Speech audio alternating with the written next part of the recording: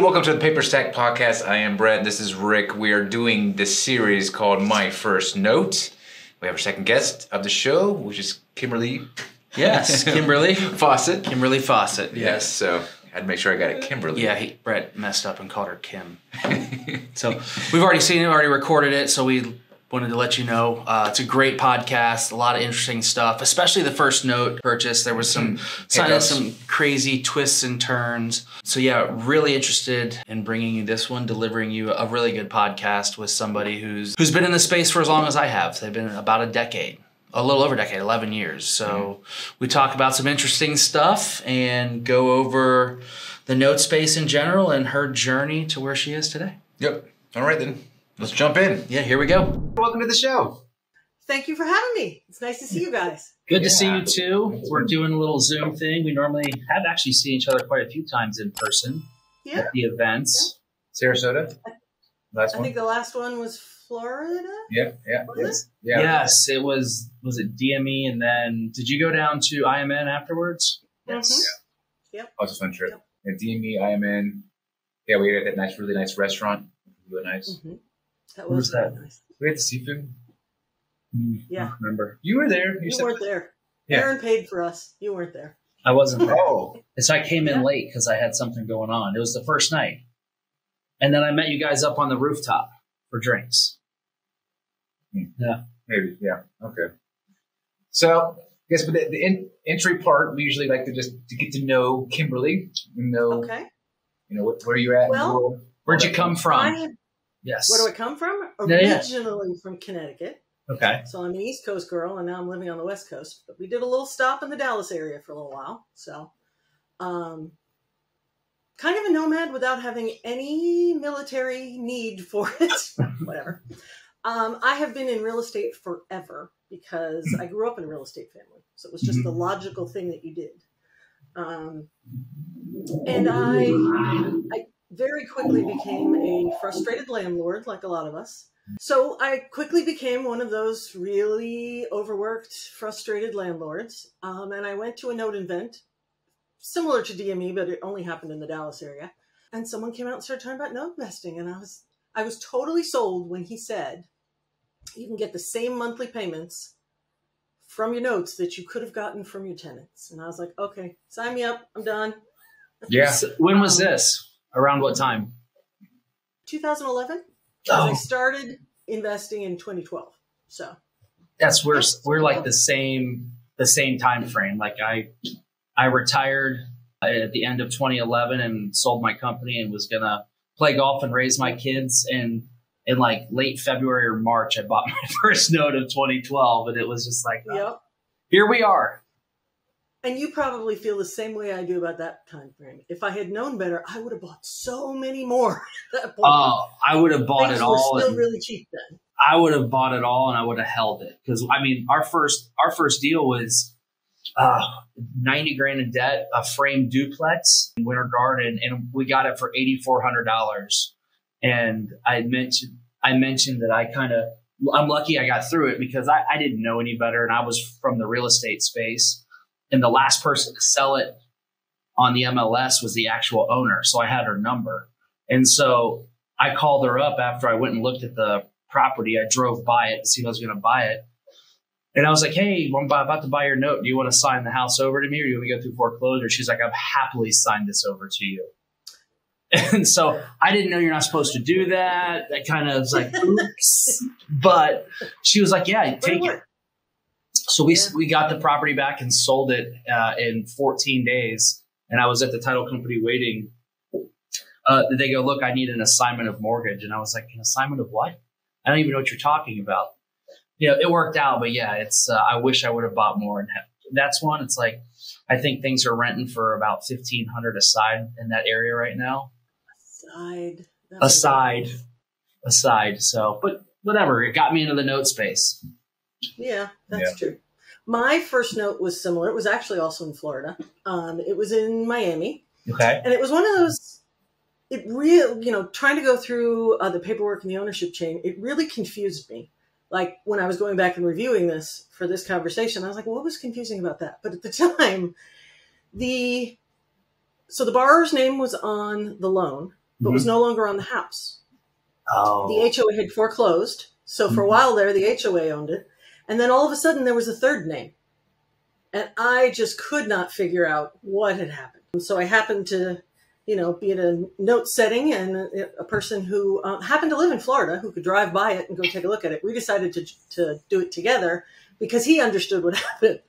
Um, the HOA foreclosed and sold it to another resident in the complex. So the borrower was long gone. I could have gone through the note to get the money from him, but again, he was long gone. And then it turned out to be very interesting. Um, this man was crazy. he didn't want to hire an attorney. Uh, he would call the attorney we were using um, and rant and rave. And then he finally decided that he was going to sue every person that ever used his name, because, you know, it's his name. He should have free use of it. That ever used his name, he was going to sue them for $10 million in U.S. silver coin. So a cashier's check wouldn't even have been good enough. Oh my god. Um, yeah, and then we had someone uh, do a walk by, you know, to see if it was as good because it was a condo and Ah. it was a one building complex. You couldn't get a good view of it. So we had someone walking through the complex, and he came out and threatened the guy with a gun. oh So he, this guy was just crazy. So you know, we kept plugging along because you know that was just crazy. And finally, he decided to hire an attorney. I guess at some point he decided we were for real. Obviously, when you hire an attorney, the tone immediately changed. right. And however, he didn't hire the best attorney because the attorney got on the phone. It was a one bedroom, one bath condo. It was almost 800 square feet. And we had valued it at around 28. No, we had valued it, valued it at around 40, although the unit right next door had just sold for 65, but they had Mhm. done a lot of work. The UPB was 28. And the attorney actually told our attorney that the guy purchased it, loved the condo, and had done a ton of work on it. So he's completely renovated the whole place, and he'd really like to hold on to it. Okay, so now I know I have an even nicer asset than I thought I did. Right. So we offered him 38 to just mutually leave the deal. He countered with 30, and we eventually ended up on 34. Um, so we paid like 18 for the note at that time. Mhm. We ended up with 34, and we did that in like four months. Perfect. So that was a great first note to get you interested. But here's the problems with it. First, I bought it from someone who was training us how to buy notes, which is just a bad idea Mhm. because, you know, he got a markup. He was telling us it was a good note. It turned out fine, but that is just a really bad idea. Mhm. Um, it's a conflict of interest. Correct. The markup, you can make a good argument for because they're doing some additional work, but they have to disclose that. It's the non disclosure of it that makes it really icky. Second, this was an HOA state. We're involved in an HOA foreclosure, and I had no idea anything about super lien states. Never heard of it, never thought about it, nothing. Not a good idea. Ultimately, I think I liked the way it turned out. I mean, I would have, you know, nowadays I would have gone back and said, no, I probably would have wanted the condo because it was worth so much money. Yeah. But in general, I don't mind foreclosing. I just don't like throwing people on the street. No, that's it's no fun. And it's like, yeah, at, in twenty guns. yeah in 2012, I thought it was it was pretty easy to get property back. Like if you wanted it, you could write checks. You could do you could get the property back if you were dead set on it because Mhm. values had shrunk so low. And it was still just like, oh man, things were in the toilet. There was an abundance of inventory. So it's like, hey, I want this property back. But now I think that's changed a little bit. But at least it wasn't a super lien state that wipes out the first mortgage. At least um, because we've had we've had those, and you know, being in Florida, we started Mhm. just buying in Florida because we're like, okay, we're just Yeah. buying here, and that's Because there was also a lot of product in Florida. oh, there's Most tons of of my first notes were in Florida. tons of product and in the area we were you know coming from coming from the real estate space and not really not getting any education first we we sort of Mhm. just like hey you know an asset manager not asset an reo agent asked me hey do you want to buy a note and Mhm. an asset manager had said here see if anybody you know will buy a note that buys real estate Right. so i didn't have any training it was just kind of like they're going to sell me that for 8400 bucks Mm-hmm. sure i didn't realize anything about it So we yeah, and I, I think when you come from real estate investing, I don't Mhm. think you fully realize the difference of being in the paper versus being in the property. Um, it doesn't have to be, remain a huge difference, but you're in a totally different position. And if you don't really understand that, you're not going to look at all of your options in the deal. I, I agree. I want to ask you this. Mm-hmm. I agree with you. It is a, it is a completely different world, but it is also such a benefit to make them if you're had that background in real estate and Mhm. potentially like fix and flip or asset management or rental to then move into the note space versus never having owned any sort of real estate or dabbled in real estate. I think it's a huge advantage just because you you understand rehab, you understand Yep. the cost that goes into fixing something up. Um, hmm I tell you what I didn't understand was uh, the difference between the cost of fixing up stuff here in Florida versus the Midwest where they have basements that flood. Oh, I got torched on those. Those deals. The first time you hear about winterizing, you're like, what, you're going to pour what down the pipes? Uh huh. Yeah. yeah. You don't think about that in Florida. No. So I was like, we have to do what? But I also think the flip side is true. I think becoming an, uh, a real estate investor or continuing to be a real estate investor, you are better off if you understand the paper. Because there's so 100%. many deals that you'd love to get into, but you know, no one will finance it. Everybody's scared of it, whatever. But you can you can find ways to work the terms so that it works for everybody. And if you're just buying, flipping, selling next, you don't learn those nuances. No, it definitely the finance side of it. I think it's another tool in your tool belt, another exit Mhm. strategy. It opens up, you know, Mhm. it almost Yep. doubles your exit possibilities on things you can do with owner financing and selling partials and just the, the whole thing along the way. It's like if, you, if you're Mhm. not using the financing side, and I'm not saying every deal is right for it, but Right. it's definitely nice that you can apply that tool when Mhm. needed, and, and we've done it. So it's yeah, it's Yeah. something definitely I'm grateful for. And I think it's one of the reasons why, well, I mean, it's been profitable for me, but I think it's one of the reasons why I've stuck with note investing because I feel like every deal's a challenge. It's not like I get into it and, oh, I gotta do this and I got to. Mm-hmm. I'm like, oh, I wonder how this one will turn out. Like, I think it's gonna be this. Let's see. Oh, you don't want to do that? How about we try this? It, it's like a Um, white elephant it- exchange. Exactly. It is just It's like choose choose your your own adventure. yeah, choose your own adventure. Like what's going to happen. Exactly. Yep.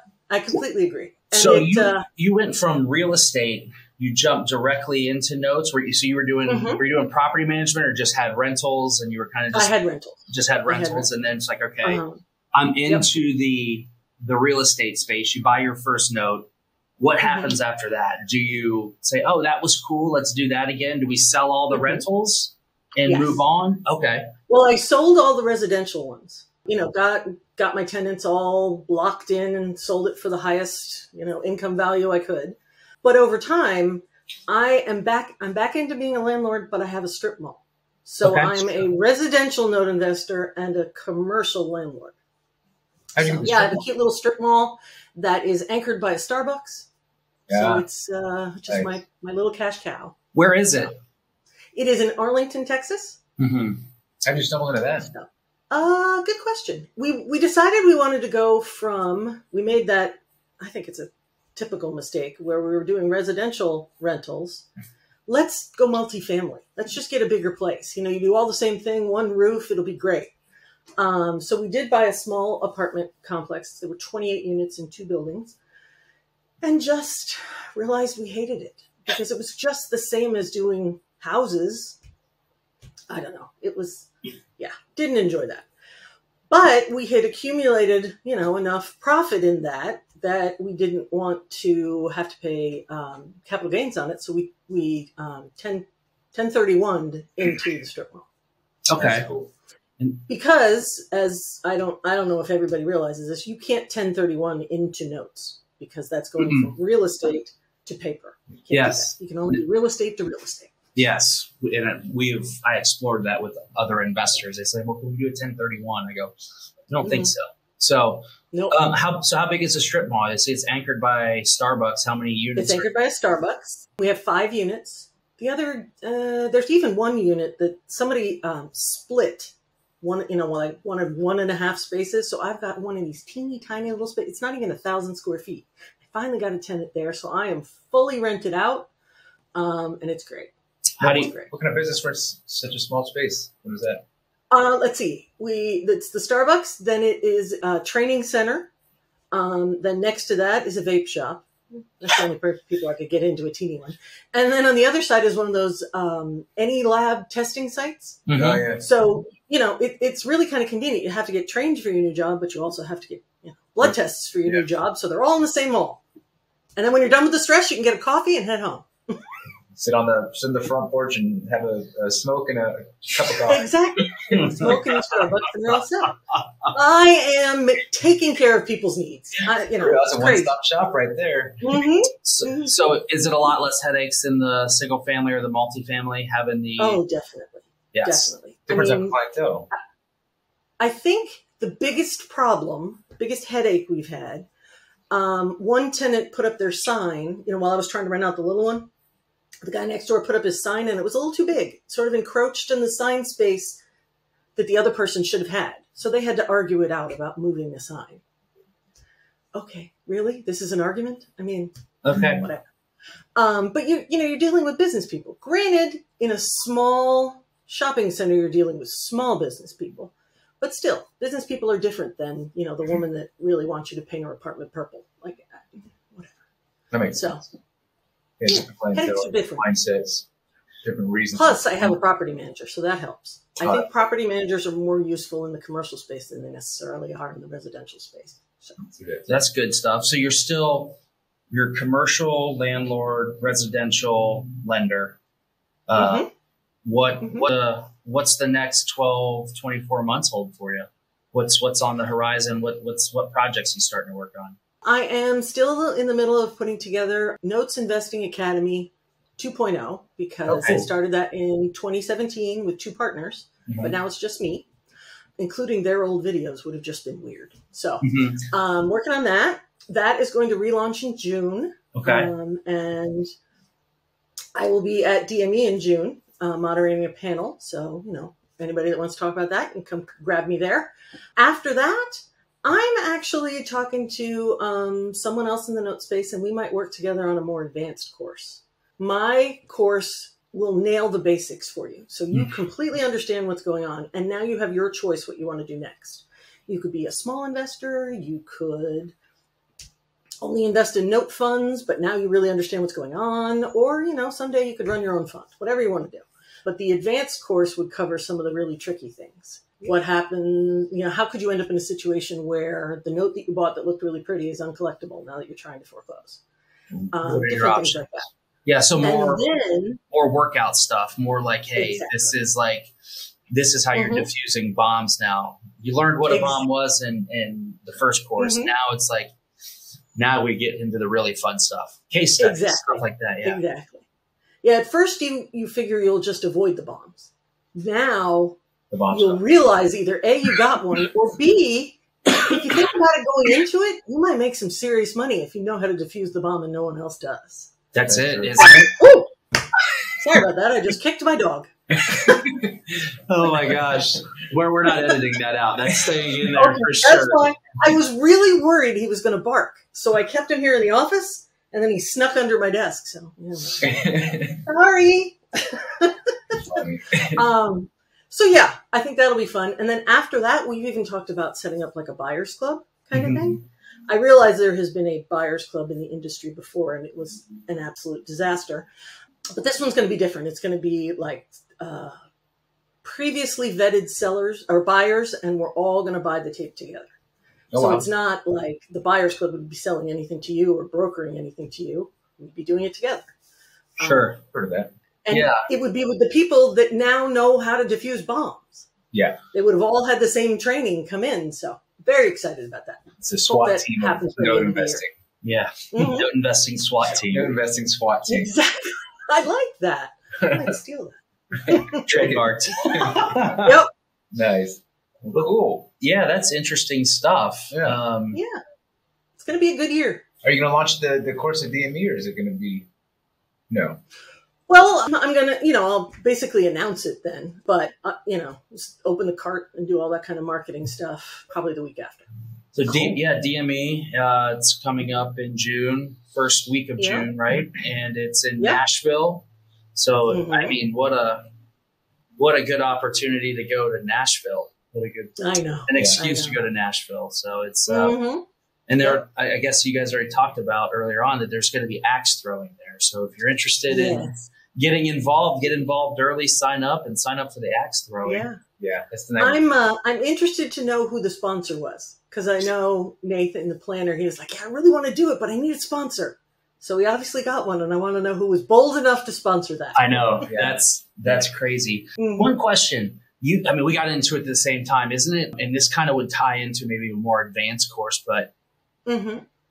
being that we were both in it in 2012, isn't it interesting to see how people that were in the industry or coming in the industry at the same time have sort of taken different trajectories to where uh, we're you know we're Paperstac. Um, there's other Mhm. people who now have fairly Mhm. large funds and growing. It's just huge opportunity in this space to kind of do anything that you want. It Yes. doesn't have to be.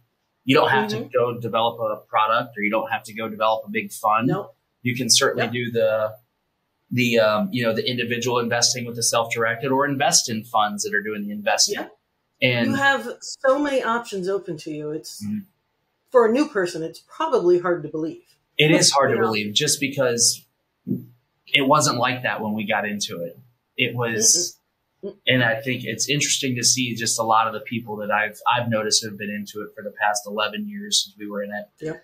and started, and just like wow, these these guys have really. Some have gone to raise up, you know, four, five, and six different funds. Um, one Mhm. one guy that was starting when we were Jack Krupe is sold a three hundred million dollar fund, and Oh, yeah.